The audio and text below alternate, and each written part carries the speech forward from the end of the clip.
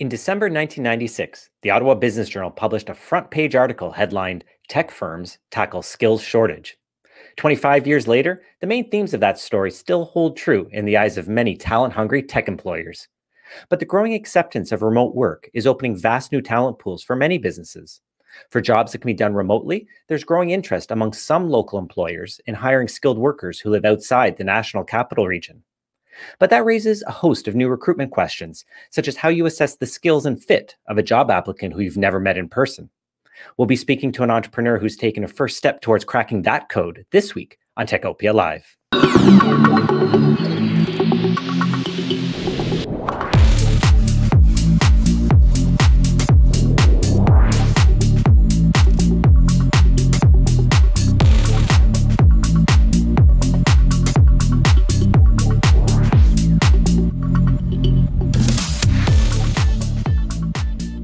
Welcome to Techopia Live. I'm Peter Kovessy from the Ottawa Business Journal, and I'm joined today by Andre Bozout, the co-director of Decode, as well as Pierre Cote, a senior advisor in the People and Culture team at Stratford Group, which is one of the supporters of Techopia Live. Welcome to you both. Welcome. Thank hey, you. Peter. How's it going? Pierre, let's start with you. Briefly tell us about Stratford and how it works with local tech firms. For sure. I mean, uh, Peter, simply put, Stratford Group helps organizations and their leaders to grow, improve, and transform.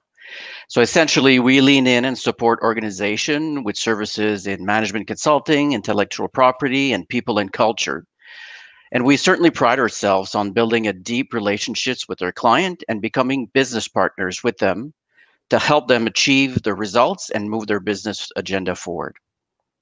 So I know you've got a lot of uh, great expertise that I'm uh, really excited to uh, to tap into. Um, but first, I just want to chat a little bit uh, about a really exciting uh, event that happened uh, earlier this this spring. Andre, you and your partner organized a, a hackathon that uh, that had, interest, had an interesting uh, recruiting angle. You brought together some of uh, some really hot tech firms, uh, including from uh, from here in Ottawa, uh, Mitel, Solace, and Foco, as well as some others from outside the region, and paired them with some high caliber talent. Yeah. Just paint us a picture about what exactly the the event was and how it unfolded. Yeah, so basically, our thesis is really the best way to hire someone is to work with them beforehand, right? And that's how we operate. So I always kind of like using the analogy of imagine making your last hire, right? You send them, go through the interview process with them. Maybe you send them a take home assignment. They perform the take home assignment really well. But at the end of the day, you're kind of left wondering how is this person actually going to perform on the job, right? How are they going to be able to work in a team? What's their actual work ethic like? There's a couple of things we've always kind of been evaluating, and we've kind of like had this personal pain point of I used to organize this conference in uh, in Ottawa called the Legacy Conference, and question so many founders would ask was like the founders of like Foco, and I got a chance to chat with a lot of teams from like Solace and Mitel was how do you hire great talent? And we really wanted to bring in a great way of doing it differently in a boring career fair or just a typical boost. We wanted to make it interactive and a fun way of doing it. And that's the way we kind of have it with Decode, where you actually get a chance to work with the talent firsthand, right? And we just found the niche of June junior tech talent really interesting because at that stage of the talent's career, they're not really have a lot of experience on their resume. So you want to be able to filter for a lot of things. For example, we like to refer to as like the on it factor. The on it factor is something you can't really measure in an interview, but once problem arises in like the code base, is the engineer on it? right? Are they going to jump on it? When something pops up on the website, are they going to jump on it, right? You can't really measure that in an interview. It's hard to measure in a take home assignment. But actually working with them for two days, where we facilitate at Decode, and we did on March 4th and 5th, with companies like you mentioned, like Foco, Solace, Mitel. We had some companies like Facebook and Google as well come in. So it's really interesting to see this wide variety of companies. You actually get to see the companies actually measure the talent and see how they actually work together. Um, so yeah, that was really fun. It was a really blast. We had over a thousand applicants for that event and only 72 spots available. So it was a pretty competitive process. Um, and then from that, we basically um, we basically facilitated over 30 hires uh, over the past few years we've been doing it, and hires being made right now as they're going through the final interview stages with a couple of the companies made there. So you know, I want to uh, pick up on a, on a few things uh, that yeah. uh, that that you raised there, but but first, you, you know, it's been my experience that um, some some employers, particularly in tech, have have, have used uh, hackathons in the past to, uh, to as, a, as a way of sort of sussing out uh, top top talent. What have been some of the traditional shortcomings of that traditional hackathon as a recruitment tool model, and and how did you work to overcome that? For sure. So like events or hackathons or whatever you call it, like Marc Andreessen, the um, the VC investor at Andreessen Horowitz, has this really kind of like interesting phrase of like, what are nerds building on the weekends, right? And he refers to nerds, but it's like really techies, right? They're it's really kind of building the future, and they're going to be building new types of products that are going to really pushing things forward. And when you see as hackathons, people aren't getting paid to go there. They're not really necessarily going there for the prize. They're literally just going there to learn and build something. So that's really hackathons. So we found that really interesting thing was the typical hackathons, though, you're seeing massive scale. So what we're doing is we're curating an experience and matching with specific companies based on their requirements. So you could go to a hackathon, it'll still be maybe a typical career fair. The, that's how companies interact with the talent there. We wanted to change it and actually have them working together with the talent. And really where we had so many um, a thousand plus applicants just for 72 spots, these other events are really just optimizing for scale. We're optimizing for curating it, as I mentioned. And the last thing I like to mention is a bit different what we've seen from other hackathons. We've gone to few different companies, just the diversity present in our events. So we had 44% of our participants actually identifying as female. That's just not numbers you see at typical events like this, where it's just mostly male dominated, right? Um, and then secondly, what we really facilitate is being a virtual space. Um, where it's a remote world today, right? You're hiring remote, you're not hiring locally anymore. So we really facilitated and we kind of really optimize for creating um, creating this online space and online community where companies and students can interact via the events. Pierre, let's bring you into the conversation. Uh, we just heard about one uh, recruitment tool that uh, that some employers uh, are, are, are using. Uh, you get to work with uh, many leading leading employers in, um, in in the region. How has the shift to remote work changed how they approach recruiting? Yeah, I mean, that has dramatically changed a shift. And if you look at from an employer perspective, you know, one big criteria when organizations were looking for talent was location, right? Because people needed to be in the office. Now, if you exclude location, then companies are really focusing on the competency, knowledge, experience, and education, which kind of inadvertently increases the quality of the candidate pool because you broaden the people that you can look at that can bring value to your organization. I've also seen a, lot of advances with tools and technology, which really increases the fact or the competitiveness of organizations that could find candidates proactively sooner than their competitors, which again really increases the, the, the competitiveness of organizations in finding top talent. Now, if you look at this from a candidate perspective, um, really what the interesting thing is, is that a lot of us have grown uh, quite favorable to working from home. It has its drawbacks, but a lot of us enjoy the fact that you don't need to commute back and forth to the office. Now, this actually, when I'm finding that candidates are looking at this from a competitive perspective, where actually applying to an organization that doesn't offer that flexibility of working from home, again, could be a, a deterrent from them applying to this job. Now, with tools and technology, I also found the trend that from a candidate perspective, they really have to be careful on their communication skills and pay special attention to keywords that they're putting into their CVs or to into or to their letters uh, to present themselves, because this will certainly drive the tools and technology to be able to find good candidates. Now, the other trend I'm also seeing is from an HR perspective. Now, this has dramatically changed how recruiters had to quickly adapt to remote interviewing and onboarding practices when the COVID 19 affected the workplace you know i find that you know hr practitioners pay a lot more attention to communication skills of candidates when they're interviewing but as well as when they're pre-qualifying candidates again looking at those letters of uh, presentation as well as those cvs and especially during virtual interviews because you can't see the person uh, sometimes body language is not as evident but the communication skills really make a big difference in selecting top talent. And recruiters are now paying a lot more attention to that skill now, if you also look at some trends, I find that if organizations are able to leverage from the temporary and consulting workforce that has become a lot more prevalent in the marketplace.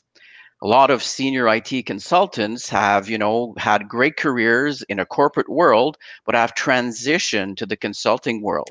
And this is a great source of IT skills and top talent for organization, especially when you're looking at finding hard to fill positions and talent to do that. So, and even from a business perspective, the investment is worth the return as organizations can save a lot of additional employee base cost. Andre Pierre was just mentioning there um, some uh, some of the uh, the, uh, the, issues surrounding sort of assessments and uh, uh, skills assessment. Um, tell me a little bit about how that that played out at at, at Decode. How did the participating yeah. companies go about uh, assessing the the um, the participants that they were paired up with?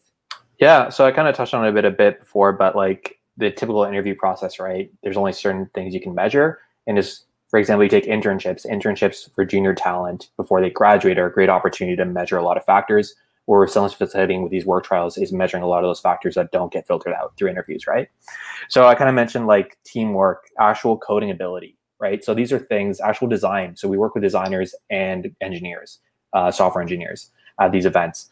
Uh, actual coding ability, actual communication skills, the ability to work under a deadline, uh, work ethic and the on it factor. I think that's something you really kind of look for. Um, but really, like this is our 10th time doing this. We just hosted our 10th event in March. So we've seen like a wide variety, and it's really interesting to see how different companies will value different things, right? But essentially, it's the 10th time doing it. So what we've seen mostly is companies just getting a bit um, excited when at first they see the students a bit maybe nervous or the new talent, the junior talent a bit nervous. But as like in any interview, you'd be a bit nervous. But as you get a chance to work with them over the two days, you'll be able to assess them a lot better when they get more comfortable. And they're working on something they have fun with, right? So the talent's really having fun working at this event. It's just do, no one goes through an interview and be like, wow, I'd love to do that again like tomorrow, right?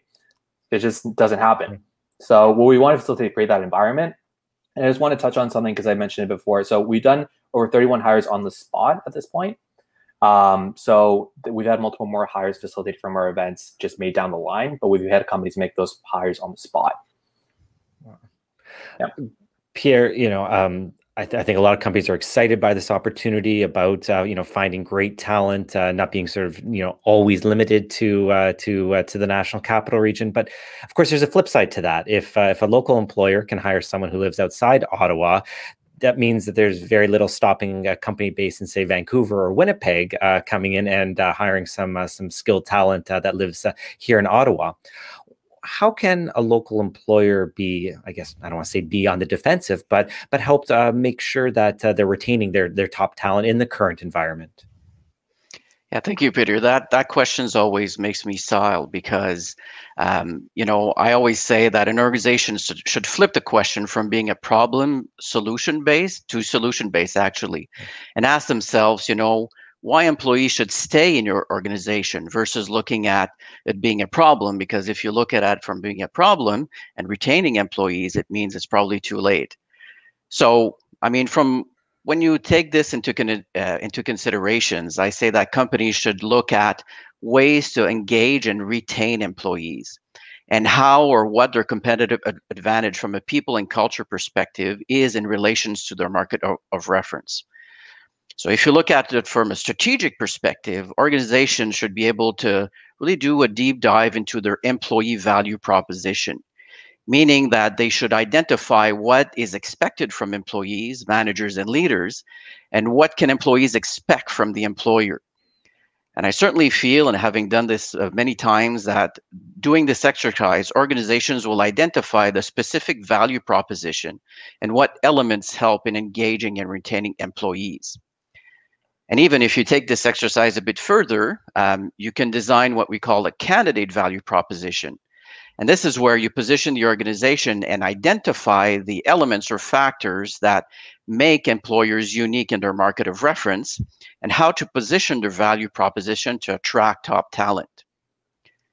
Now, if I go back to your question about how can tech companies or employers retain their top talent, well, contradictory to a lot of beliefs, employers don't necessarily leave organizations because of compensation. In fact, if you look at the top reasons why employees leave, it's actually centered around the relationship with their boss, they're bored or unchallenged with the work itself. Um, their relationship with their coworkers is not good. They don't feel that their contribution to the work uh, or to the organization's business goal is connected, and a lot of autonomy and, and independence in the jobs that they do. So, if you look at it purely from a relationship between the employee and the social and business interaction, it's evident that companies, or especially managers, have not adapted to promoting a social and business interaction and are actually pushing employees to feel less connected and, and engaged.